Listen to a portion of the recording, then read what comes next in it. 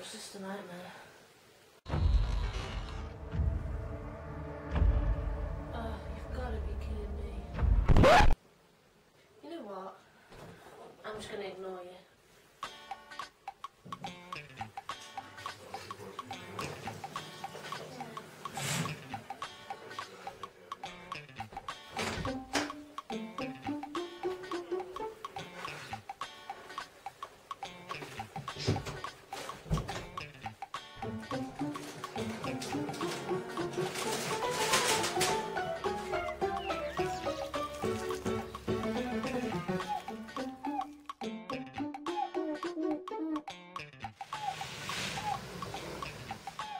Maybe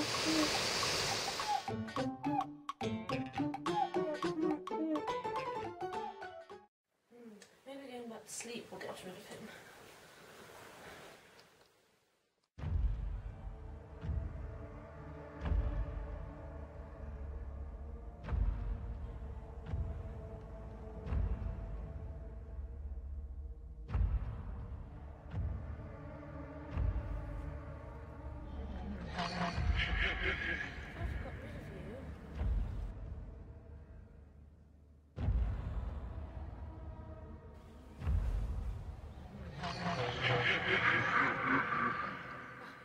kidding me.